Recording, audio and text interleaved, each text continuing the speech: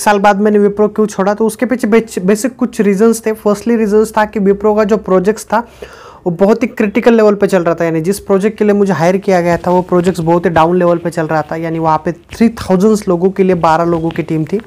और जो टीम पे प्रेशर्स था, वो बहुत ही हाई था। उसकी वजह से मैंने प्रोजेक्ट छोड़ा। दूसरी, मेरा जो इंक्रीमेंट हुआ था, यानी मेरा ने सभी का इंक्रीमेंट विप्रो के उस टाइम में थ्री परसेंट हुआ था। अभी मान लीजिए किसी बंदे को दस लाख की सैलरी और उसका थ्री परसेंट इंक्रीमेंट होता है तो वेल एंड गुड उसके लिए अच्छा है। लेकिन किसी की सैलरी बहुत कम है। जब मेरे विप्रो में ज्वाइनिंग थी, तब मेरी सैलरी टेन के क्या क्रॉस थी 2015 में, पाँच साल पहले की बात कर रहा हूँ। तब जाके मुझे तीन परसेंट का इंक्रीमेंट मिला। तो मैंने एचआर से भी बात की थी कि मुझे इंक्रीमेंट बहुत कम है। अकॉर्डिंग टू सैलरी इंक्रीमेंट होना चाहिए।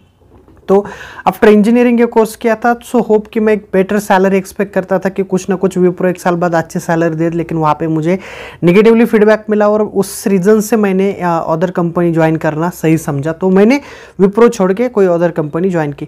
तीसरी चीज़, जो भी प्रोजेक्ट्स मुझे मिलते थे विप्रो के थ्रू में दो तीन प्रोजेक्ट्स पर शिफ्ट हुआ, जैसे वोडाफोन का प्रोजेक्ट्स मिला, उसके बाद मुझे फाइनेंस बजाज फाइनेंस के प्रोजेक्ट्स मिले, बहुत सारे प्रोजेक्ट्स मिले दो तीन प्रोजेक्ट्स मिले तो सारे प्रोजेक्ट्स एक लेवल के थे, यानी एक साल दो साल काम करोगे तब भी गारंटी नहीं थी कि आपका वहाँ पे इंक्रीमेंट होगा या आपकी सैलरी में ग्रोथ होगी। क्योंकि जो मैनेजमेंट था प्रोजेक्ट लेवल पे वो बहुत ही वर्स्ट केस का मैनेजमेंट था। तो मैनेजमेंट लेवल पे भी मुझे कोई ट्रस्ट नहीं था उस चीज़ पे कि ये लोग आगे चल के कुछ जो ग्राउंड लेवल के लोग हैं उनके लिए कुछ करेंगे। क्योंकि इंक्रीमेंट होती थी गाइज़ लेकिन उन लोगों की होती थी जो टॉप लेवल पे उनके सैलरी हाई तो ग्राउंड लोगों लेवल के लोगों के लिए कुछ अच्छा वहाँ पे ये नहीं था। सो so, बेनिफिट क्या हुआ? मैंने विप्रो छोड़ा। फ़र्स्ट बेनिफिट, जिस कंपनी में भी मैंने गया हूँ, वहाँ पे मुझे 300 परसेंट की हाइक मिली है। बात करते थ्री परसेंट से लेके 300 परसेंट की हाइक की। तो यहाँ पे 8000 से सीधा हम जाते उतनी सैलरी पे। तो उतनी सैलरी मुझे उस कंपनी में मिली। लगभग मैं बात करूँगा कि एट परसेंट पर मुझे अगर एट थाउज़ेंड पर मुझे तीन परसेंट मिल रहा था तो यहाँ पर मुझे लगभग फ्रेशर्स लेवल पे इतनी सैलरी मिली। तो ऑब्वियस मैं विप्रो में notice period without complete notice period मैंने विप्रो छोड़ दिया और उसके बाद डायरेक्टली मैं उस कंपनी को ज्वाइन कर गया और आज अच्छी सैलरी पे हूँ।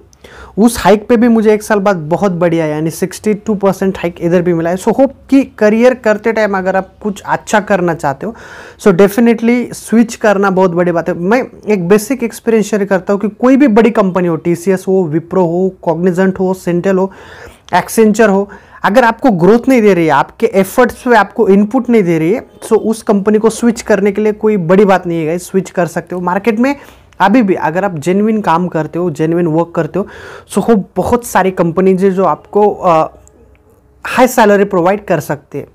सो so, होप मैं जब विप्रो में था तब मेरी सोच थी कि यार मुझे आठ से लेके बारह हज़ार तक सैलरी मिलनी चाहिए as a freshers one year बाद।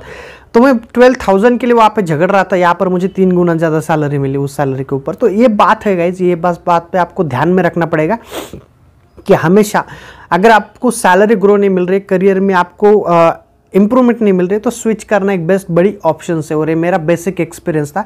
अभी विप्रो की पॉलिसी पता नहीं क्या चेंज हो चुकी है, नहीं हो चुकी है। बहुत सारे लोग बोलते हैं, विप्रो अच्छी है, क्योंकि उनका एक्सपीरियंस अच्छा होगा। मैंने विप्रो का एक्सपीरियंस लिया और विप्रो मुझे एक वर्स्ट कंपनी लगी तो मैंने विप्रो छोड़ दी गई तो ये वीडियो बनाने का बेसिक मोटिव किसी कंपनी को टारगेट करना नहीं, लेकिन बेसिक एक्सपीरियंस शेयर कर रहा हूँ कि एमएनसी कंपनी होने के बावजूद भी अगर आपको प्रोजेक्ट सही तरीके से नहीं मिलता है तो आपकी ग्रोथ वहाँ पे नहीं होगी गाइज़ सो इस वीडियो में इतने guys thank you so much bye